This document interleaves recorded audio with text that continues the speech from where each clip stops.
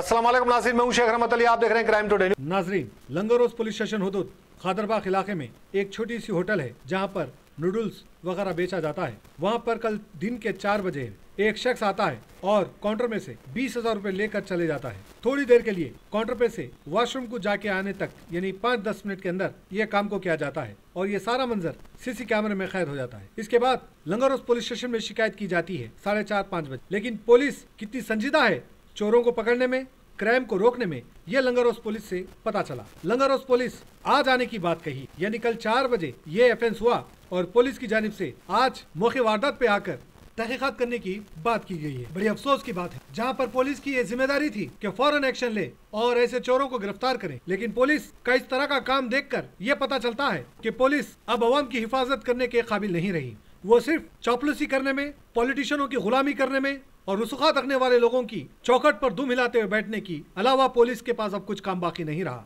ऐसे पुलिस वालों पर कार्रवाई करने की ज़रूरत है, जो काम के नाम पर टाइम पास करते हैं पुलिस स्टेशन में। बहरहाल, हम उम्मीद करते हैं कि पुलिस के अलादेदार फ़ौरन ऐसे पुलिस वालों पर कार्रवाई करें जो काम के नाम पर सिर्फ़ टाइम पास कर रहे हैं और ऐसे चोरों की हिम्मत बढ़ती जा रही है।